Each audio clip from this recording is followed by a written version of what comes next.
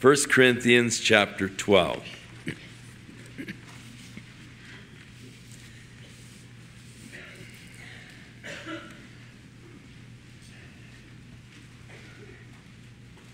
It is interesting that the church in Corinth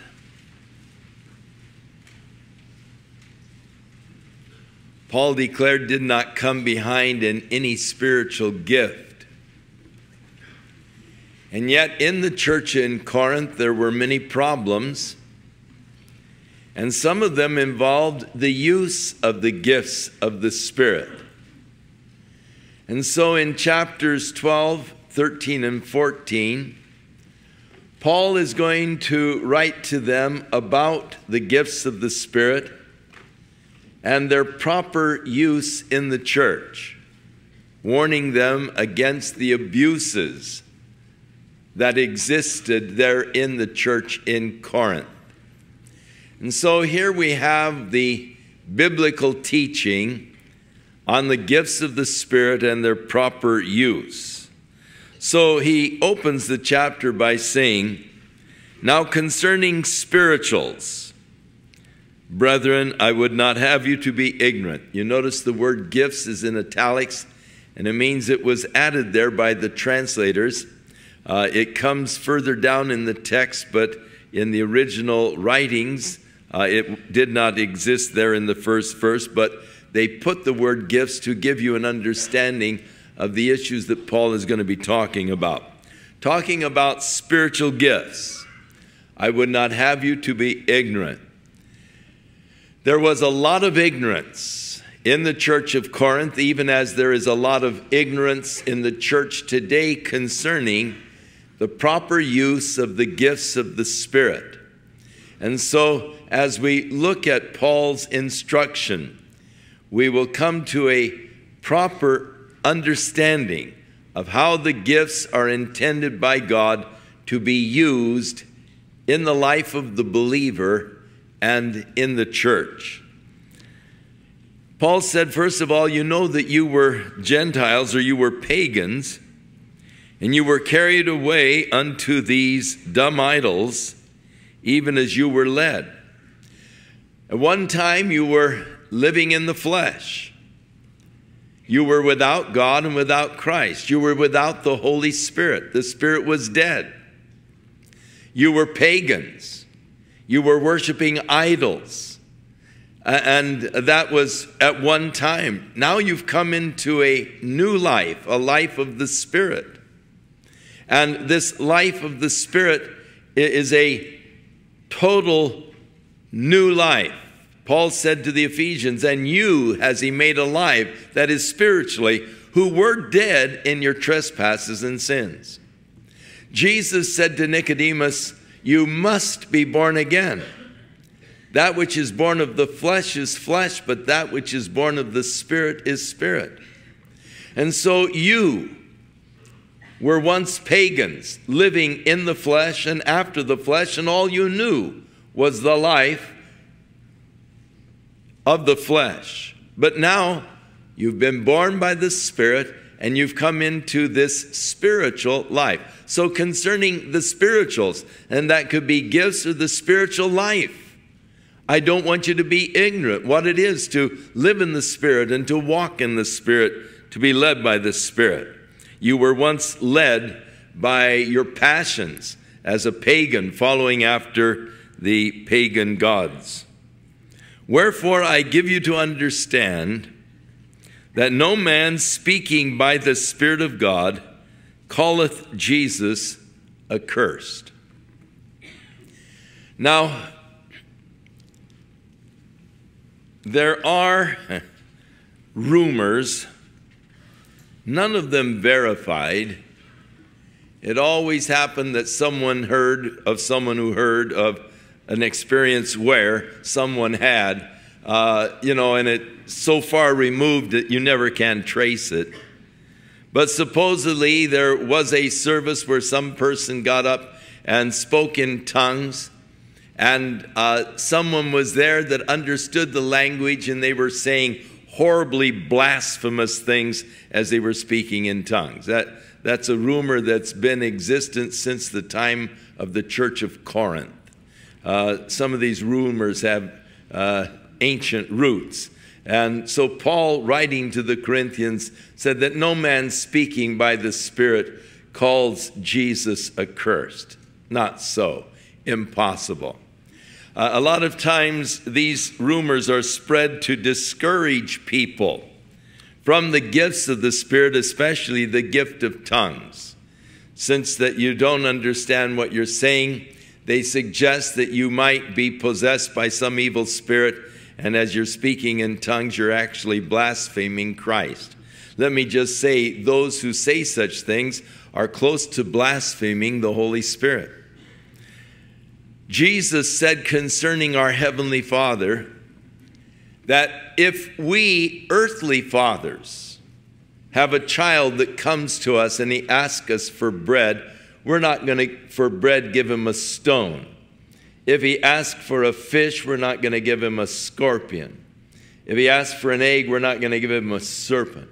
And he said, If you, being earthly fathers, know how to give good gifts to your children, how much more will your heavenly Father give the Holy Spirit to those that ask him.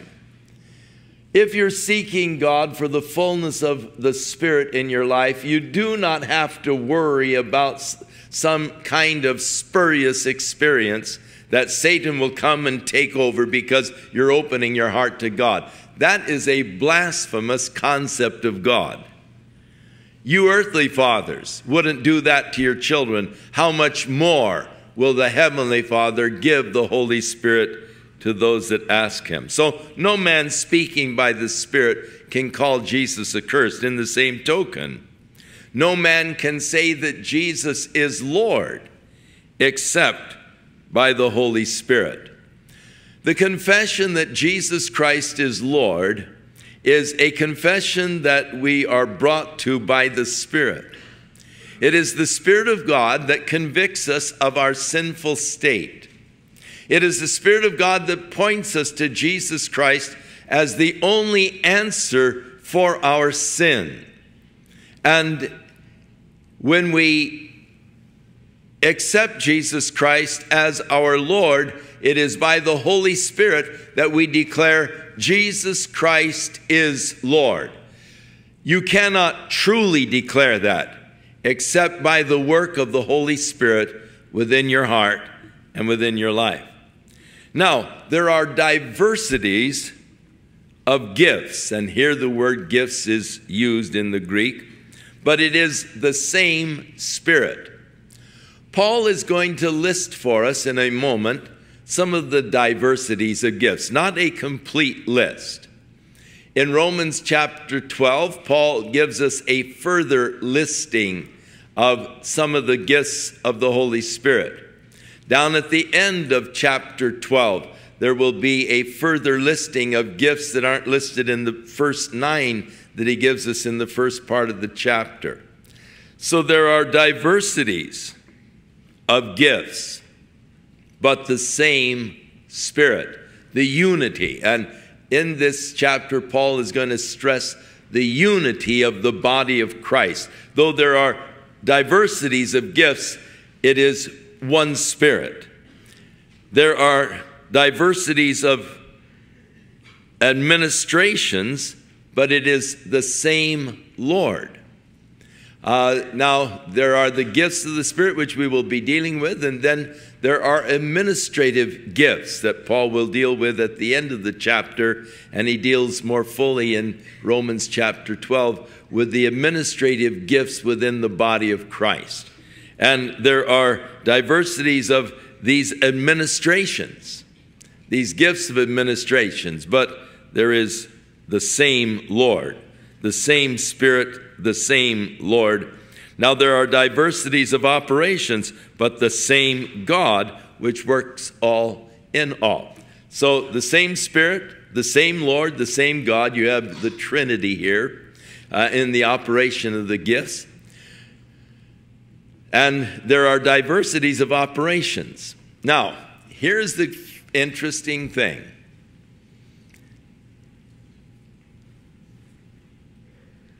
several people may have a similar gift of the Spirit, but it operates in different people in different ways. It doesn't follow always the same pattern. In other words, the gift of the Spirit may operate in my life in one way, the same gift may operate in your life in another way. The gift of prophecy. The Lord plants in my mind the thoughts, the ideas, and I express them. But I have them first implanted in my mind by the Spirit. That's the way the gift of prophecy operates in my life. You may have the gift of prophecy, but it may operate differently in your life. It doesn't have to operate in your life like it operates in my life. We make a great mistake in trying to pattern God. It's always, it seems, we're attempting to reduce God to a formula. And, and we want, you know, well, how did it happen to you? And uh, what did it feel like? And what, you know, did you think? And where were you? Well, I was lying under the piano when I was filled with the Spirit, you know. And uh, so, you know, think, well, I got to be lying down under the pew someplace or under the piano. Uh, and, and we try to uh, pattern.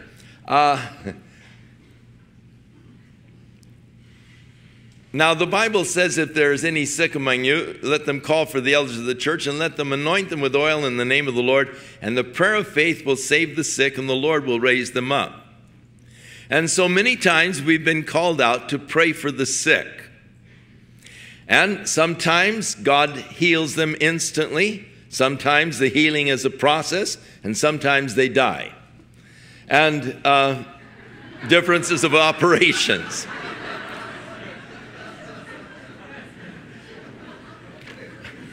I remember being called uh, to pray for uh, this little girl who was uh, very sick, had an extremely high temperature.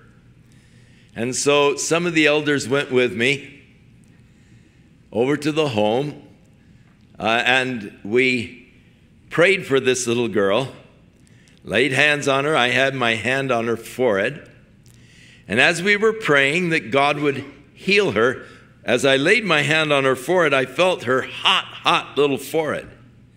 But as we were praying, I felt the fever just leave. It just left. And by the time we were through with our prayer, it was, her forehead was cool. And she was instantly healed. Now, I thought, now just how did I lay, my, what did I say? Ooh, you know. It worked. What did I do, you know?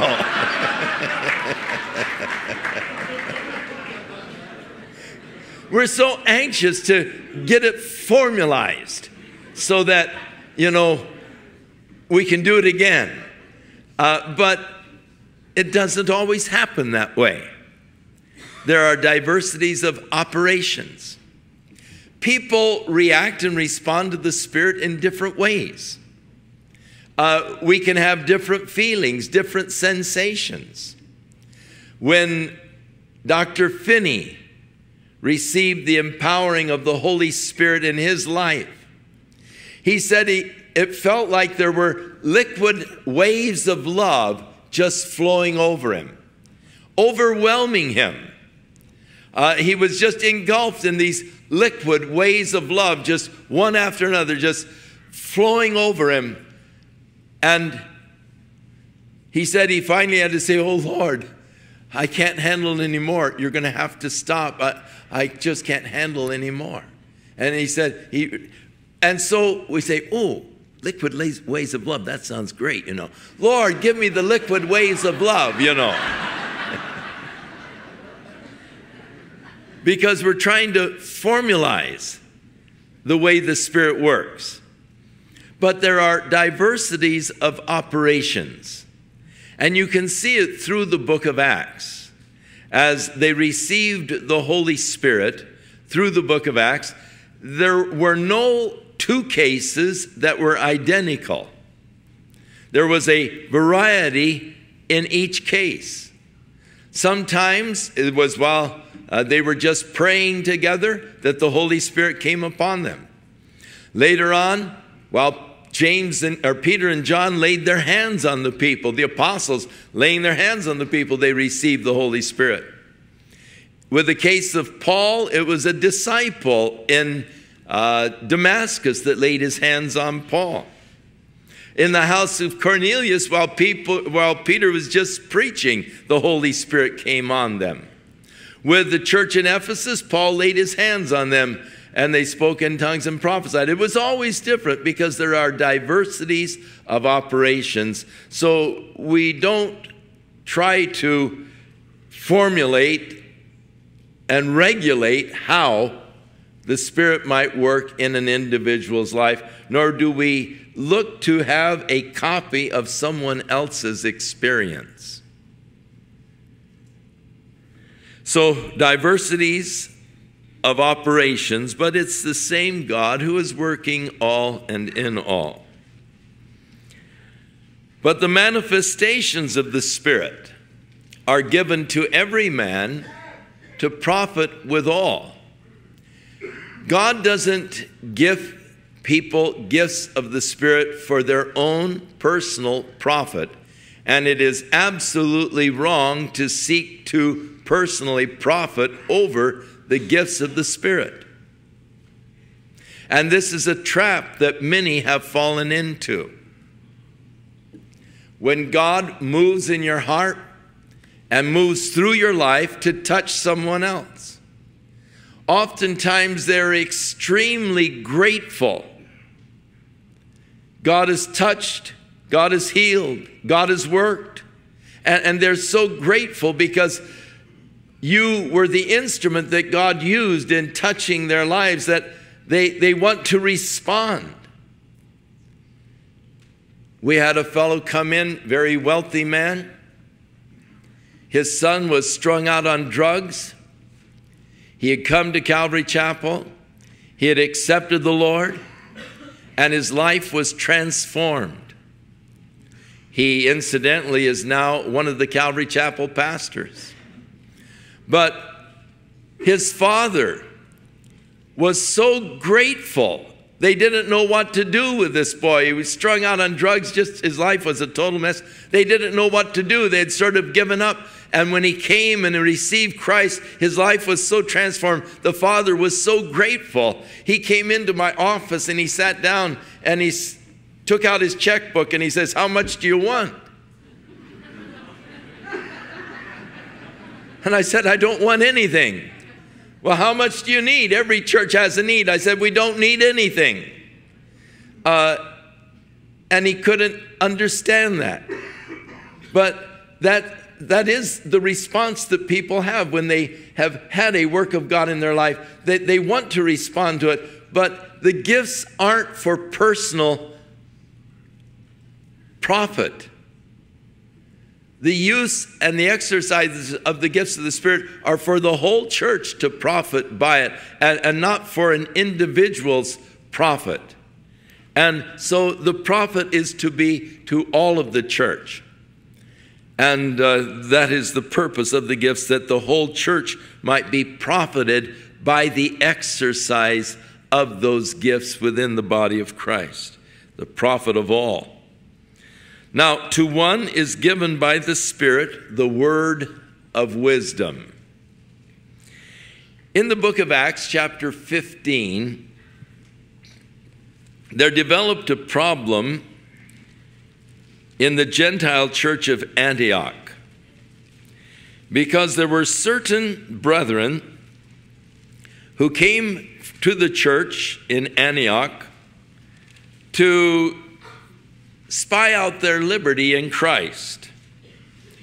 And they began to create division in the church there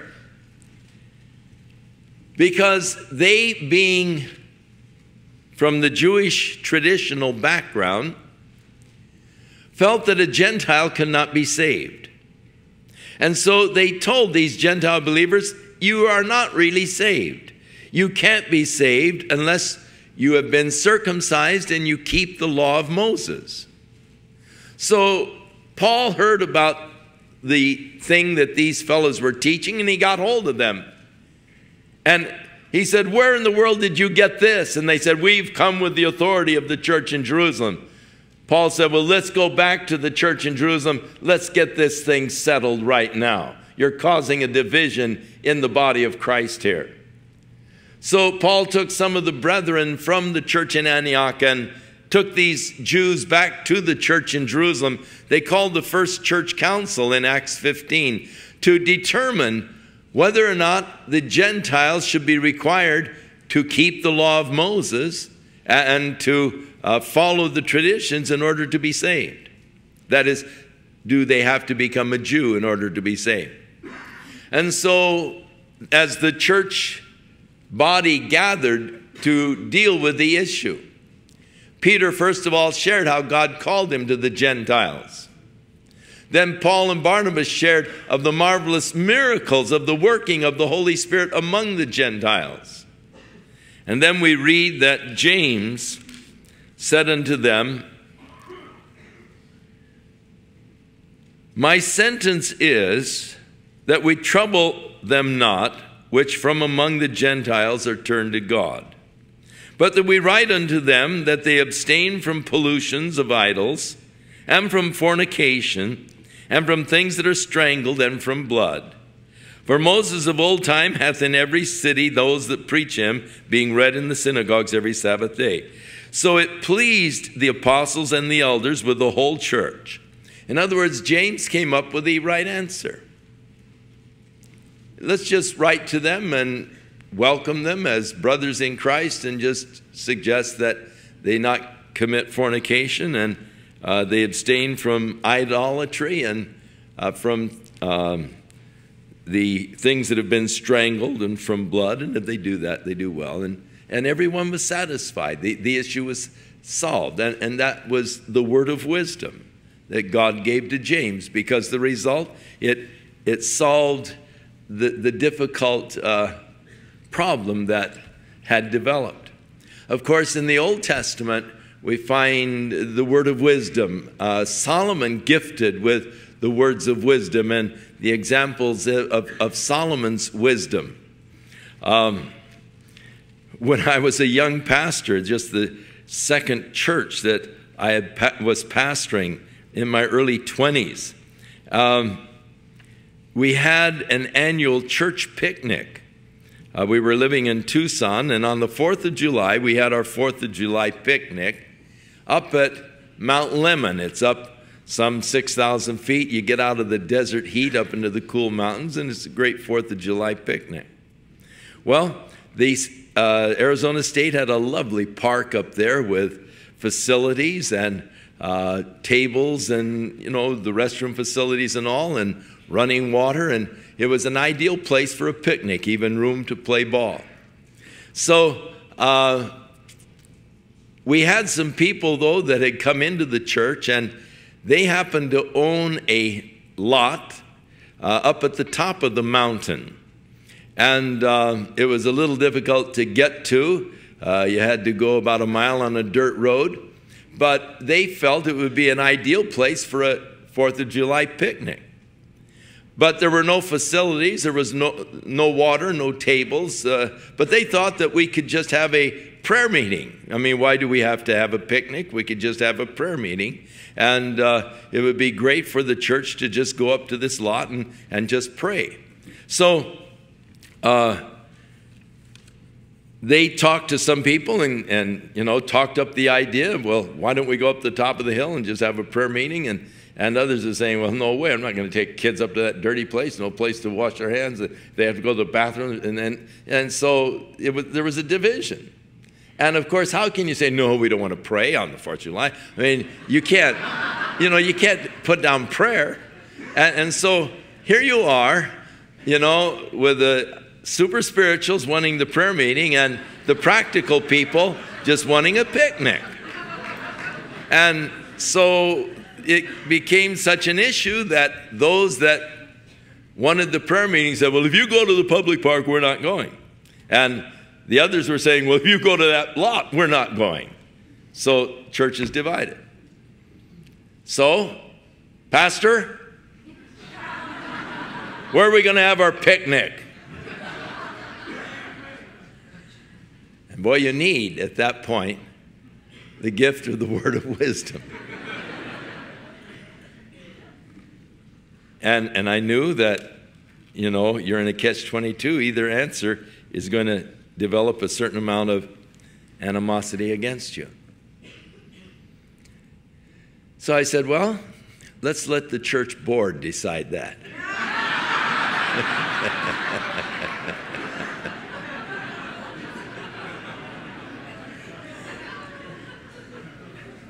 and so the church board wisely decided to go to the state park. We had a great picnic. But these people that were, you know, upset over that, I was able to say, well, you know, the church board decided, and, you know, God has probably given them wisdom, and so let's just flow with it, you know, and walk in love, you know.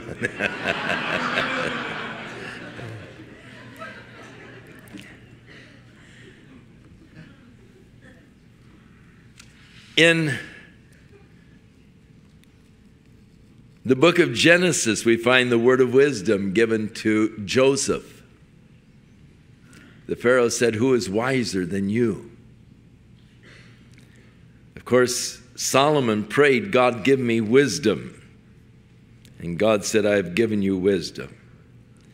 Then there is the word of knowledge. Now, wisdom is the proper application of knowledge. There are people who are very knowledgeable, but they're not very smart. That is, they don't have much wisdom. Solomon said, With all of your understanding, get wisdom. Wisdom is the principal thing, he said. Uh, the knowledge without wisdom can be dangerous. And, and this is what we have today. There are a lot of people extremely knowledgeable, but they're not very wise. And so uh, we have the word of knowledge. Now, this is knowing things supernaturally, things that you would not have known by natural deduction, but just revelation of the Spirit.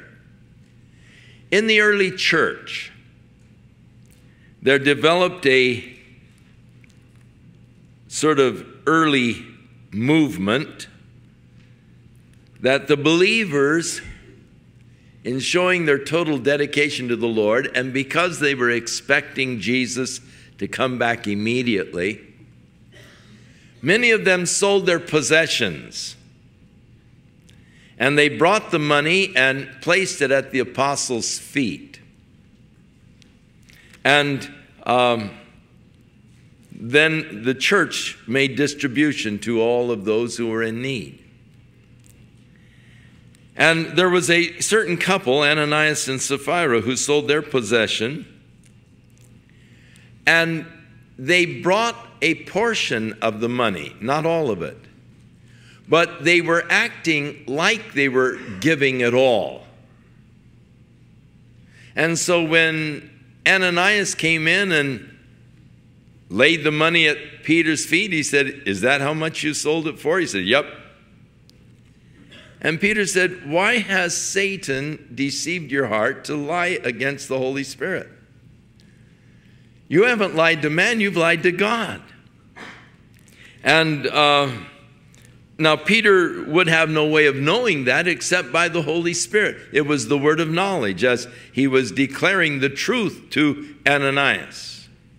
And, and by the word of knowledge, he uh, realized that Ananias was in, in hypocrisy, pretending to give everything when he was actually holding back some. Proverbs tells us, For the Lord gives wisdom, and out of his mouth comes knowledge and understanding. Now, One is given by the Spirit, the word of wisdom, to another, the word of knowledge, same Spirit, to another, faith by the same Spirit, In Acts, the third chapter, we find Peter and John were going into the temple at the hour of prayer. There was a lame man, about 40 years old, who was daily brought by friends, and he was placed next to the gate called Beautiful, which was near Solomon's porch. And he would beg alms from the people going in to worship God.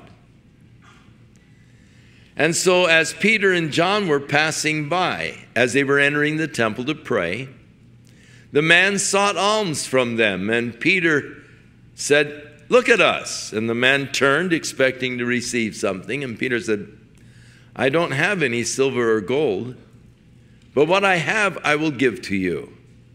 In the name of Jesus Christ of Nazareth, stand to your feet and walk.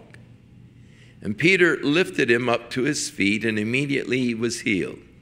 He received strength. He began to walk and jump and praise God. And the people around, they saw him walking and jumping up and down, and they said, Isn't that the lame man? And others said, It sure looks like him. How is it that he's walking? We don't know. And then he began to grab and hug Peter, and people began to relate the miracle to Peter. And so, as they began to look at Peter as though he was really some super saint, he said, Ye men of Israel, hold on a minute. Why do you marvel at this, or why do you look on us as though we, through our own righteousness or good deeds, have done this good work to this lame man? Be it known unto you that it's by the name of Jesus Christ of Nazareth that he is walking. And it is through faith in his name that he's been made whole.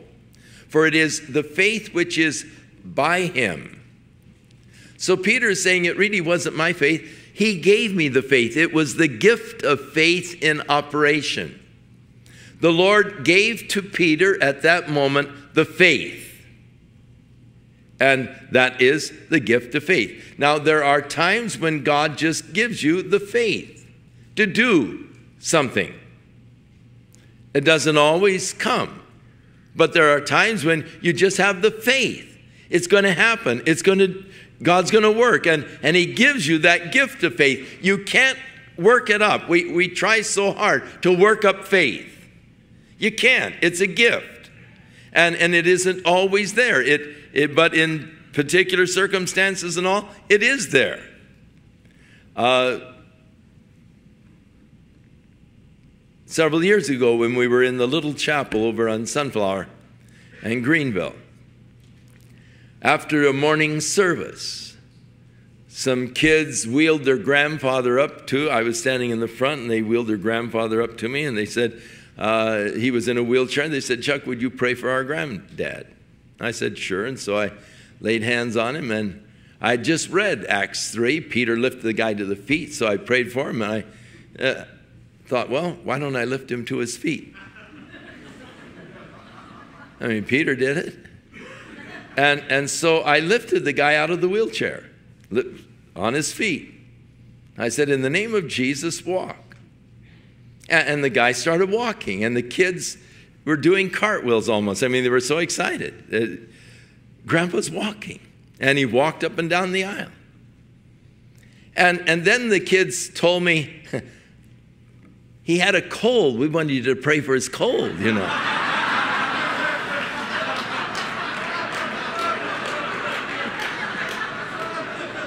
Why didn't you tell me?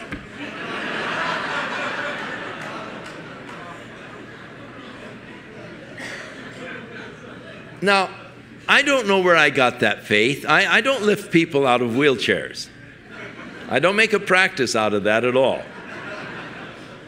But it was just at that instant, it was just, I had the faith that this man can be healed. And it was the gift of faith in operation. Now, the following Wednesday night, we had gone down to Tucson to have Thanksgiving with our relatives there. And I spoke in the church in Tucson. I had pastored it years earlier. And so they asked me to speak that Wednesday night for the Thanksgiving service. And after the service, a man came up. His wife was in a wheelchair, he was pushing her in the wheelchair. And he said, Chuck, my wife has had a stroke. Would you pray that God would heal her? And so I prayed, laid hands on her, and prayed that God would heal her. And then I patted her on the shoulder and said, God bless you, sister. We'll continue to pray for you. And as he wheeled her out, my son Chuck Jr. said, Hey, Dad, how come you didn't lift her out like you did that guy last Sunday? and I said, The Lord didn't give me the faith for that. I mean, I didn't feel impressed. I, I, I didn't have any, you know, impulses to, to lift her out. The Lord didn't give me the faith for it. So it, it's something that is one of those intangibles. Sometimes you have the faith, other times you don't. It's a gift of faith. And the fact that it is a gift of faith is manifested in that you sometimes have it and you sometimes don't. It's not a reservoir. It's not something that's just there and, hey, I've got it, man, and anytime you want something, just come along and I'll, you know. It's not that way. It's just it comes, it's a gift when it's there, but it isn't a reservoir. Even as the word of knowledge, word of wisdom, it isn't that I have this great reservoir of knowledge, just ask me anything, I'll be glad to share with you, no? Uh, or any problem, just come to me, I've got the answer. It doesn't work that way. Sometimes it, it, it's there, sometimes it isn't. It's not just a reservoir, it's something that the Spirit maintains the control of. He gives to you at the moment what you need for that moment. And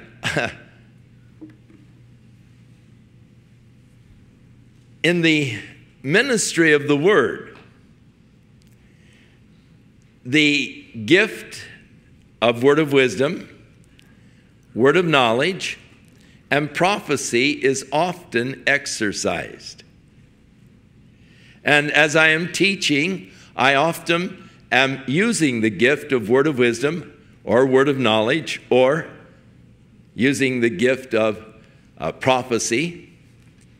And when the anointing of the Spirit is there, the gifts are in operation, hey, it's great.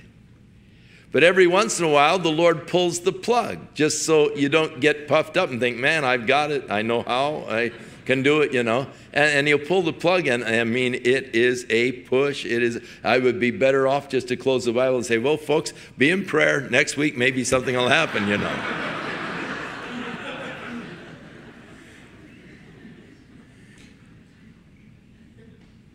It's exciting when God is working. Now, oftentimes, as we are speaking, we'll use an illustration and a thought will come into my mind, an illustration to the truth, and I'll, and I'll paint this picture to illustrate the truth.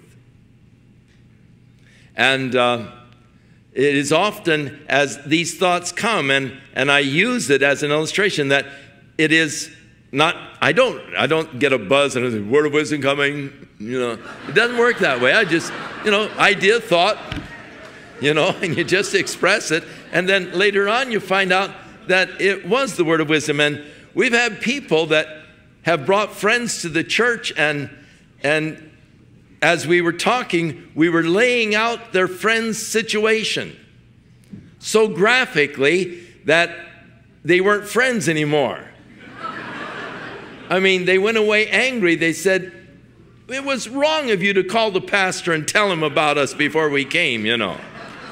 And, and, Paul said, if you know you're exercising prophecy, the secrets of men's hearts will be revealed and know that God is in you of a truth. One night, as we were speaking, of course, our services are broadcast live on radio and throughout the area. And we were in Second Peter. And he was talking about the false prophets who, through feigned words, will make merchandise of the people.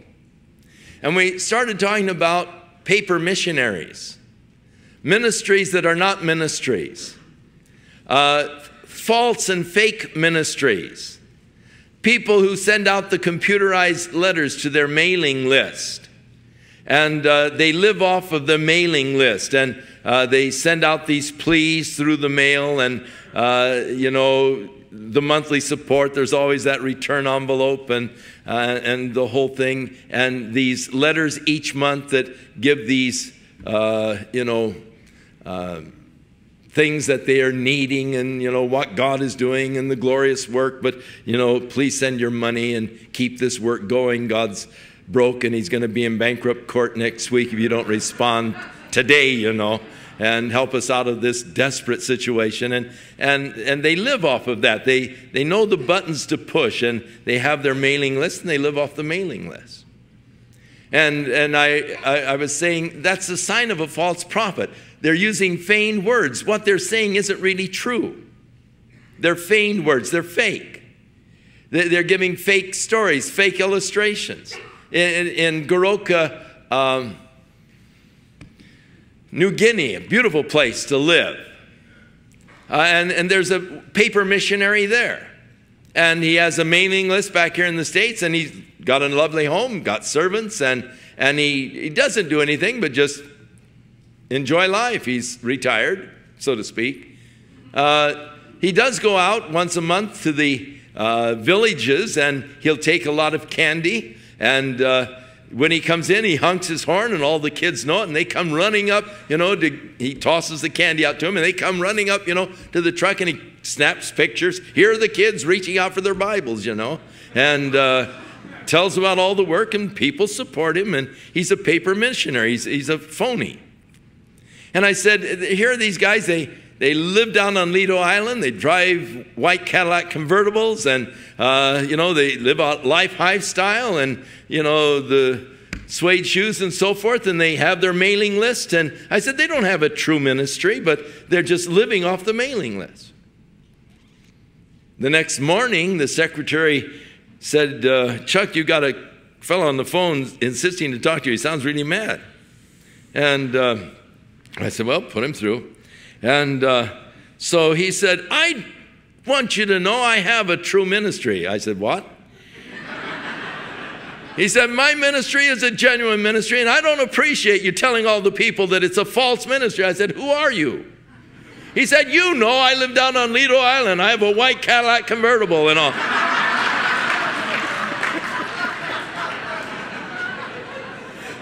I said, Wait a minute, wait a minute. I was just making that up. I don't know anything about you. I've never heard of you before. But it was the word of knowledge being exercised. It can get you in trouble sometimes. But it, it's, it's the way the gift operates. The gift of faith. Peter said, It wasn't my faith, it was the faith which is of him that this man stands here before you whole. In the 14th chapter of Acts, in, in verses 8 and 9, there was a certain man at Lystra who was lame, being a cripple from his mother's womb, who had never walked. And the same was listening to Paul speak. And he was steadfastly looking at Paul. And Paul perceived that he had faith to be healed. And he said with a loud voice, Stand on your feet.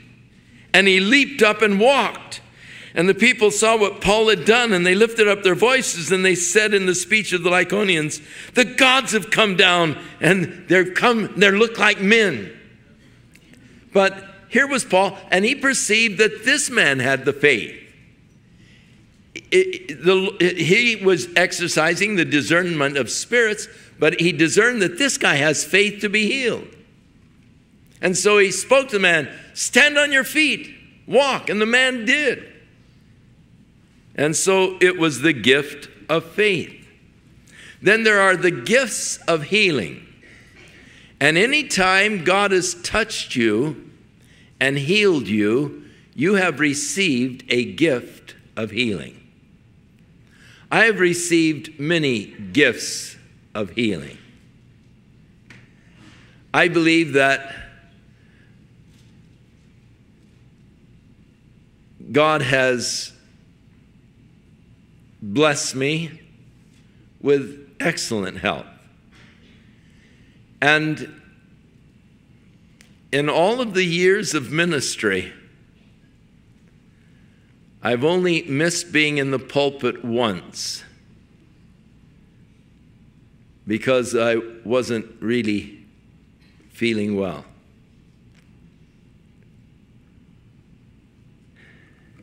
And it was while we were here, we were in triple services. We were in the little church over on Greenville. And I woke up one Sunday morning and I felt just weak and dizzy. I couldn't collect my thoughts. My mind was just in a whirl. So I went down and woke up Chuck Jr. and I said, Chuck, you're going to have to speak for me this morning. So he got up and he went out and he preached the first service. During that first service, no doubt, when they said, Well, Chuck is sick, he can't be here for church today, there were so many people started praying for me. As I was lying there in bed, suddenly I felt great. I was healed. So I got up, got dressed, went out to the next two services. I was healed instantly. I received a gift of healing. And God does heal. He does heal the sick. And the Bible tells us if there are any sick among us, let them call for the elders of the church. Let them anoint them with oil in the name of the Lord. Prayer of faith will save the sick. Lord will raise them up. And so on Saturday night, we have the elders back in the uh, back part of the building there in the prayer room praying for the sick. Those that want to come and be anointed with oil and prayed for. Uh, the elders are back there praying for the sick according to the scriptures. And when God touches and heals a person, they've received a gift of healing. And God has done some marvelous healings, cancers and everything else. We've seen God work and heal people. Then there is that working of miracles. And we find examples of that in the book of Acts when Peter prayed for Dorcas and she was raised from the dead. That was a miracle. Uh, we read concerning Paul when uh, he was ministering in Ephesus in the 19th chapter of Acts. Uh, we read there in uh, verse 11 that. Um, God wrought special miracles by the hands of Paul, so that from his body were brought to the sick people handkerchiefs or sweatbands, and the diseases departed from them, and the evil spirits went out of them. That was the working of miracles, special miracles by the hands of Paul. Then the gift of prophecy. And again in Acts chapter 21, we read of this prophet by the name of Agabus, who was in the church in Jerusalem. And when Paul was there in Caesarea, staying with Philip before going up to Jerusalem, uh, there came down from Judea a certain prophet named Agabus. When he was come unto us, he took Paul's girdle, and he bound his own hands and feet, and he said, Thus saith the Holy Spirit. So shall the Jews at Jerusalem bind the man that owns this girdle, and shall deliver him unto the hands of the Gentiles. And when we heard these things, both we and they that were of that place begged Paul not to go up to Jerusalem. And Paul answered, What do you mean, weeping? You want to break my heart? I'm ready not only to be bound, but to die in Jerusalem for the name of the Lord Jesus Christ. So uh, the prophet Agabus. Now, it isn't always foretelling the future. It can just be speaking forth the Word of God. And in the Old Testament, when you are speaking for God, it is the gift of prophecy. In the 14th chapter, Paul will teach us a little bit about the gift of prophecy. He that prophesieth, he said, speaks to the church for edification, for exhortation, and for comfort. It's ministry to the body of Christ, God speaking to his people. And, and there are those that just have that gift of speaking forth God's truth to the people, and it's the exercise of the gift of prophecy. And then uh, David said on his dying bed, The Spirit of the Lord spake by me, and his word was in my tongue. Peter acknowledges that David was a prophet. And David acknowledges that it was God that spoke by him. It was God's word that was in his tongue. The gift of discerning of spirits. And uh, there in the eighth chapter of Acts, we find an example of that beginning with verse 20. And uh, we read that Philip had gone up to Samaria to preach Christ to them. Many believed and were baptized as they saw the miracles and all that were wrought by Philip. And when the church in Jerusalem heard that the Samaritans had received the gospel, they sent unto them Peter and John because as yet the Holy Spirit had not come upon them. And as Peter and John laid hands on them, they received the gift of the Holy Spirit. Now there was a certain man, his name was Simon. He was beforehand a sorcerer but he also believed when he saw the miracles, and he was baptized. And when he saw that by the laying on of hands the Holy Spirit was imparted, he said to Peter, uh, How much would it cost me? I'd like to buy this gift. I'd like to go around and lay hands on people that they would receive the Holy Spirit too. And Peter began to exercise the gift of discernment of spirits. He said, Your money perish with you because you've thought that the gift of God could be purchased with money. You have neither part nor lot in this matter, for your heart is not right in the sight of God. Peter was, Peter was seeing what was in his heart. There was down in his heart a, a jealousy. He had lost uh, the, his position of, of a prominent man in the community. They all thought that he was a mighty power of God until they saw the genuine power of God through Philip. And they turned from him and were following now after Jesus Christ. But he was wanting to get some of that attention and glory back. And Peter could see his heart.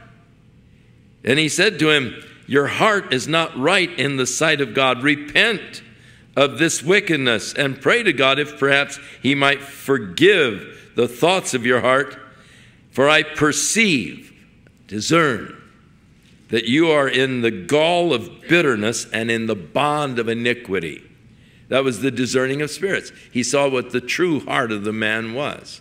Uh, you, you're in this gall of bitterness, you're in the bond of iniquity. And then there are the diverse kinds of tongues. Now, uh,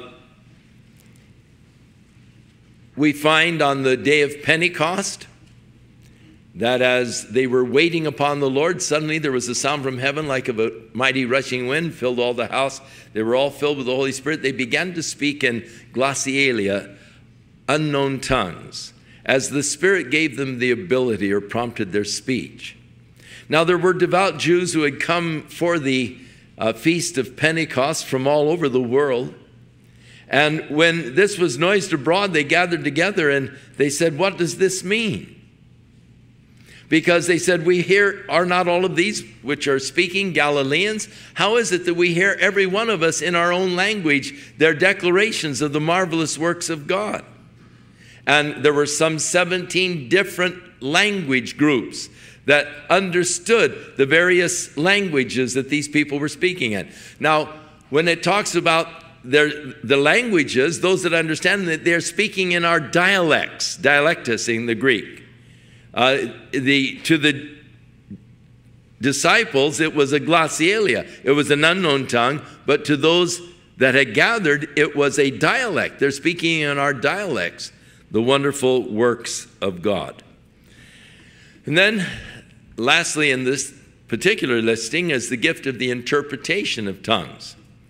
One person speaking in another tongue while another person interprets that which was said by the Holy Spirit, not by natural understanding of what was said. Uh, translating, it's not a translation, it's an interpretation, and it is a gift of the Spirit. Now, interestingly enough, we don't have any example that I know of in the New Testament of the exercise of the gift of the interpretation of tongues, but Paul will talk about it more in chapter 14.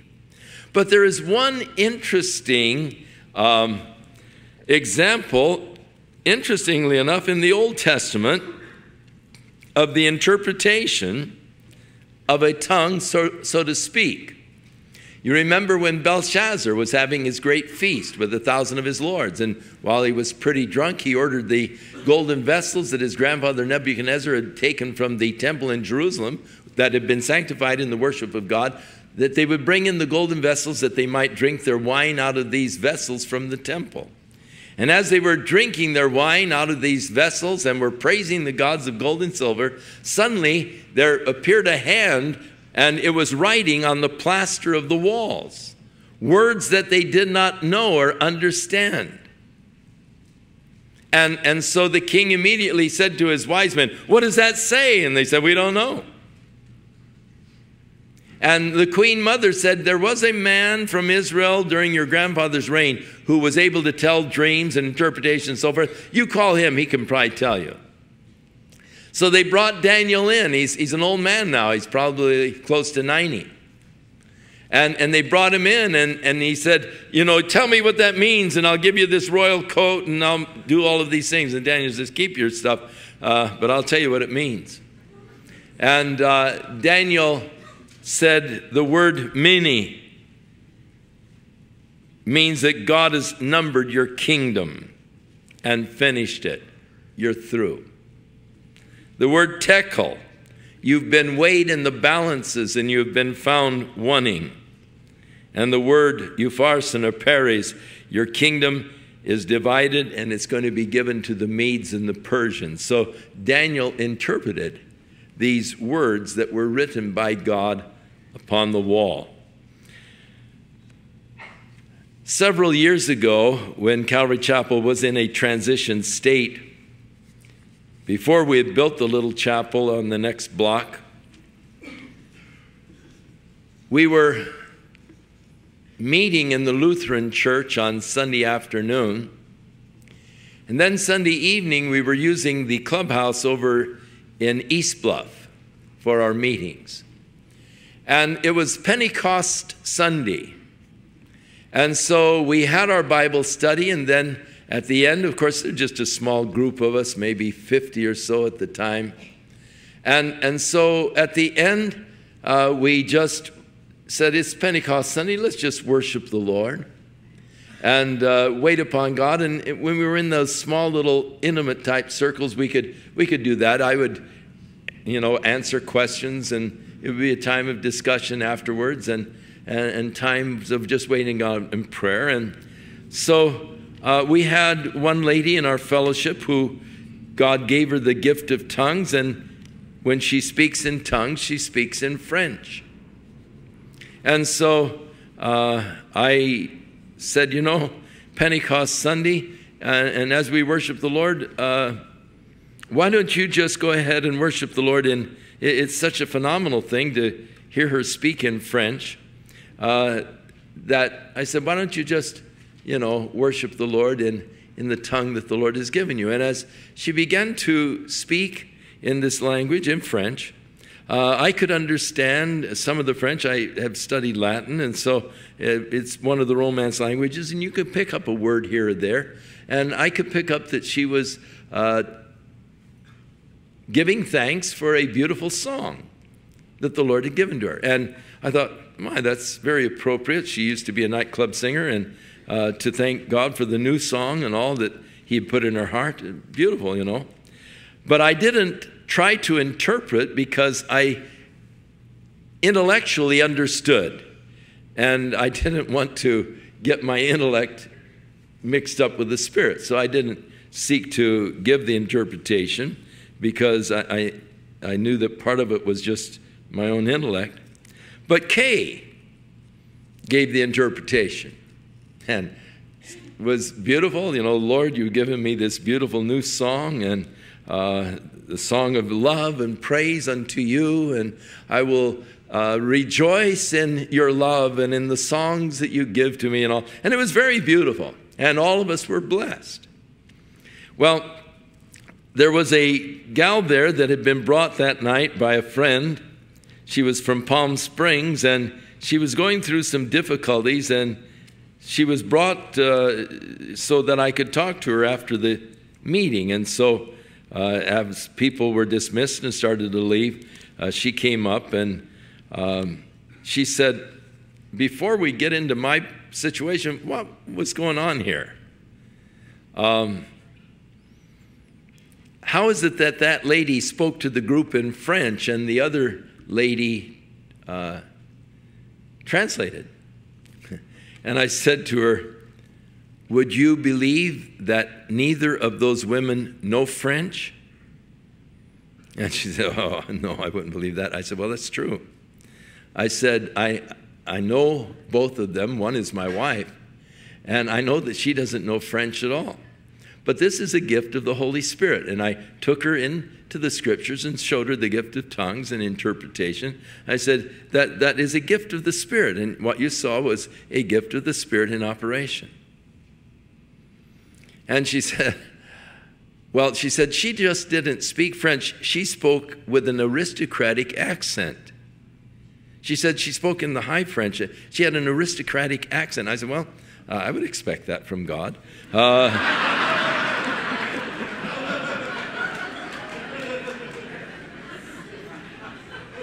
And so she said, Well, before we get to my problem, I've got to accept Jesus. I said, Well, that'll be the end of your problem, so let's do it. and uh, so she accepted the Lord. I mean, she was convinced when she saw the genuine operation of the gift of the Spirit. And it so happened that she had lived in France for five years in Paris. She was very wealthy, came from a Jewish background, and was living in Palm Springs and had spent five years in France and uh, knew French very well and was with the aristocrats there. And uh, yet, seeing a genuine demonstration of the gifts in operation, her heart was convinced that this has to be real. I mean, you can't just do that. It's just, it has to be real. So, all of these are by the self same Spirit who divides to every man severally as he wills. Uh, it may be that he'll give you two or three gifts of the Spirit. It may be that he'll give you more. He divides to each man severally as he wills. But it's the same Spirit, same God, same Lord, the unity, the oneness in the body of Christ. And so Paul naturally bridges from that into the oneness of the body.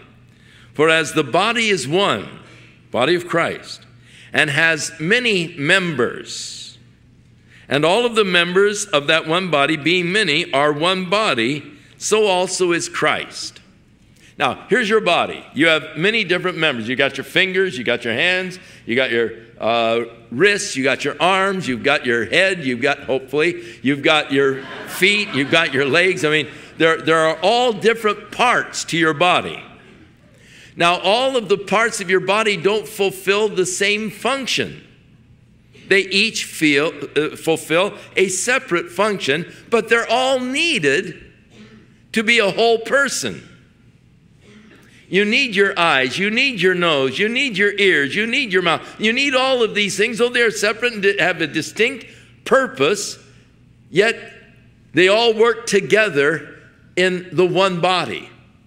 And so we have all of these different gifts within the body of Christ. And different people with different gifts, but it should all work together in unity and we are all unified in Jesus Christ. Now, we're not talking about just Calvary Chapel. We're talking about the body of Christ in this community, which is comprised of Episcopalians, of Lutherans, of Baptists, of Presbyterians, and, and all of the different groups. It doesn't matter what name they put over their door if they are following after Jesus Christ, we are all a part of the one body and we don't all fulfill the same function. God has a purpose for each part of the body of Christ. And, and God has these ministries in the area that attract and appeal to different people than Calvary Chapel attracts and appeals to. We are fulfilling our place in the body of Christ, but ours isn't the only. We're only a part of the whole body, and we need to see that. We need to guard against exclusivism, to think that we're it, you know, and we're the whole angel. Not so.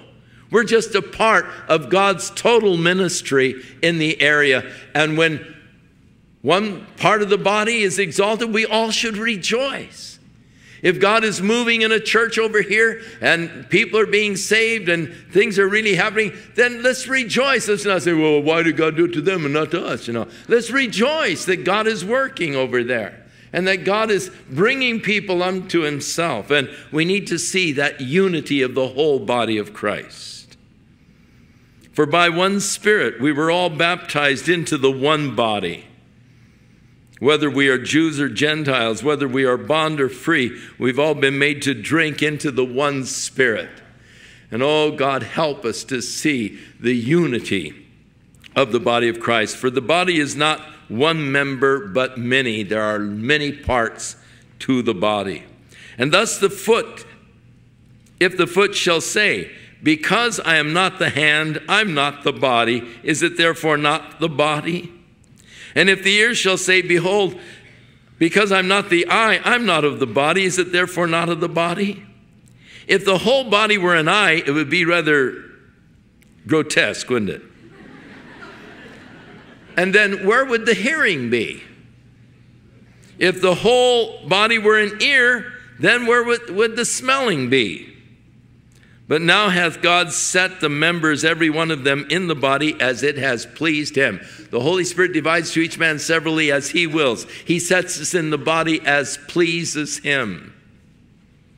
And God gives us the gifts to be used in the body of Christ, but we work together. We are, we are interdependent upon each other. To have the whole body, we've got to have all the parts. You can't just sit home alone and say, well, you know, uh, I'm just going to worship God here at home. I don't need to go to church. I don't need the fellowship. I can just get it right here at home. No, no, no. You're saying I don't need the whole body. You do. You, you are a part of the body. You're not the whole body. No one is the whole body. We're all parts of the body, and there is that interdependency upon one another. If the whole body were an eye, where would be the hearing? If the whole were hearing, where would be the smelling? But now God has set the members, every one of them, in the body as pleases Him. We are here at God's pleasure. We are what we are by God's design and pleasure. If and if they were all one member, then where were the body? Uh, it, it isn't a body just if it's just one part. The eye cannot say to the hand, I don't need you, nor again to the head, to the feet, I don't need you. Nay, much more, those members of the body which seem to be more feeble are necessary. Every part of your body is necessary for the full functioning of the body. Now, it's important to realize I'm a part of the body. I may not be a very visible or noticeable part, but I am a part of the body and an important part. And though I may not be so visible or prominent, yet I am an important part to the body. I am needed for the whole body to function properly. There are parts of your body that you can't see, but they're surely necessary. Uh, your digestive system, absolutely necessary. Uh, your brain, you can't see it, but it's necessary. Your heart, your lungs, you don't see them, but they're necessary parts of the body. So, not every part of the body has a prominent place where everybody sees it. Now, it would be terrible if in our own bodies we had the striving that we often have in the body of Christ, where a person isn't satisfied to be what God has made them. What if your own body had that kind of a rebellious attitude towards its place in the body? Your big toe would say, I'm tired of this hot, smelly place. It's always dark and damp. I want people to notice me. I want to be planted in the middle of the forehead where everybody can see me.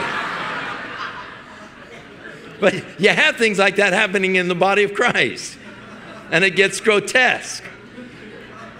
We need to be what God has made us. We need to be satisfied where God has placed us, knowing that He's put us here for His purposes. And though we may not draw attention and all, yet important to the whole functioning of the body. So, those members of the body which we think to be less honorable, upon these we bestow more abundant honor, and on our uncomely parts, the more abundant comeliness. There are those here in the body of Christ that uh, have received the gift of intercessory prayer, and they are by far, you don't know them, you don't see them, you don't, they don't have badges that say, I'm an intercessor. Uh, and yet, what an important part of the body of Christ. We couldn't function. We wouldn't be functioning as we are. We wouldn't be blessed as we are if it weren't for this part of the body, these people that are fulfilling that place in the body of intercessory prayer. And so each of us have our place within the body. And on those parts that aren't noticed, God has appointed more abundant beauty. For our comely parts have no need, but God tempered the body together, having given more abundant honor to that part which lacked. You're important in the body of Christ and in the eyes of God. And though men may not know of your ministry, it may not be one of those visible ministries, yet God sees and God rewards you for your faithfulness of being what God has called you to be and being that part of the body that you've been called to fulfill.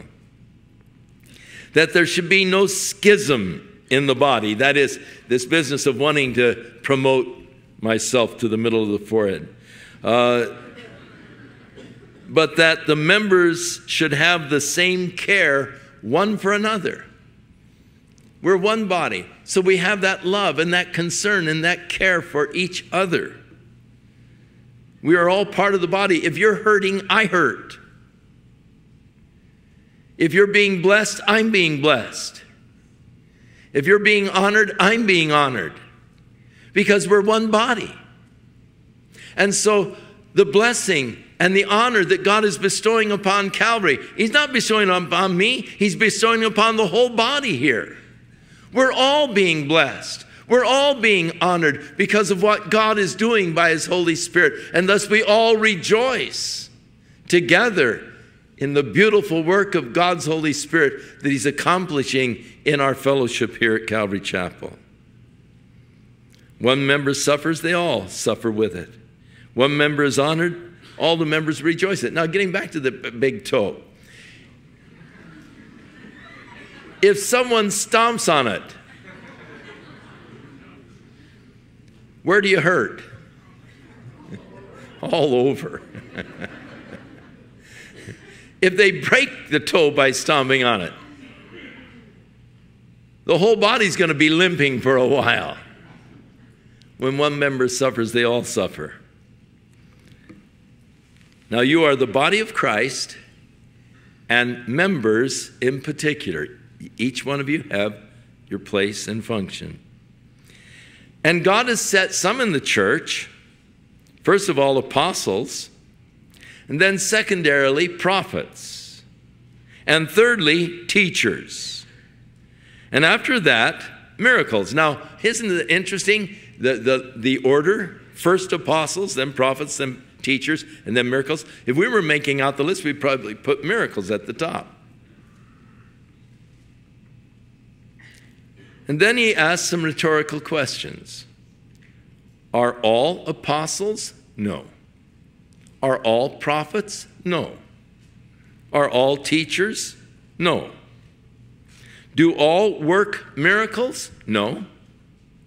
Have all the gifts of healing? No. Does everyone speak with tongues? No. Does everyone interpret? No. We have differing gifts, but the same Spirit. We have different operations, but the same God. Different administrations, but the same Lord. There is the unity and yet the diversity in the unity in the body of Christ.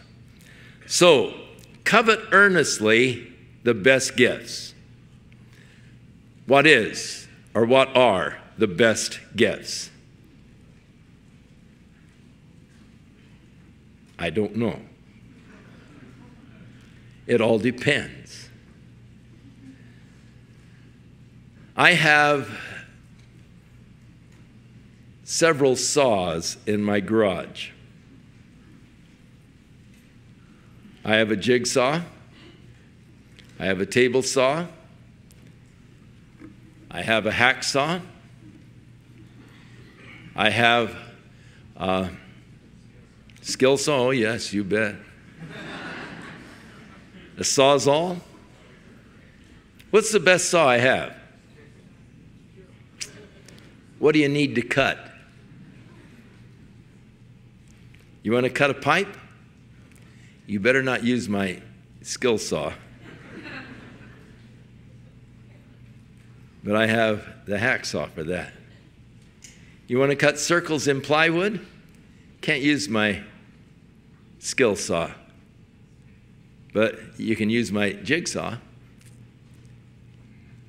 It all depends on what your ministry is in the body of Christ. What is the best gift? And so God gives us the places in the body, and then He gifts us for that place within the body. And so, wherever my place is, I need to covet what would be the best gifts in fulfilling that place in the body where God has put me. So, being a pastor teacher, that's my ministry in the body, the best gifts are word of wisdom, word of knowledge, and prophecy. And I'm blessed because God has given to me these gifts. But they're the gifts that I need, especially for the place in the body that God has called me. Now, covet earnestly the best gifts. The Holy Spirit gives to each man severally as he will. God places us in the body as pleases him. But covet earnestly the best gifts, those gifts that can best equip you for the place in the body where God has called you. But Paul said, Yet I will show you a more excellent way. A better way than all of the powers of working miracles or all of these other things. I'll show you a more better way. And next week, we get into that more better way, the higher road, path of love. 13th chapter, one of my favorite chapters of the Bible, next week as we continue our study through the scriptures. Father, thank you for the gifts of your Holy Spirit. Thank you, Father, for the body of Christ. Oh Lord, bring us into an awareness of the unity that you desire within your body. That we working together in love might be built up in Christ Jesus. And Lord, that we will have that care and concern for one another. So that when one part of the body might be hurting, we will all hurt with them. When one is being honored, we will all rejoice with them. Lord, may we truly be a body that is pleasing to you in all things. In Jesus' name we pray. Amen. Shall we stand? Spirit of the living God, fall afresh on. Spirit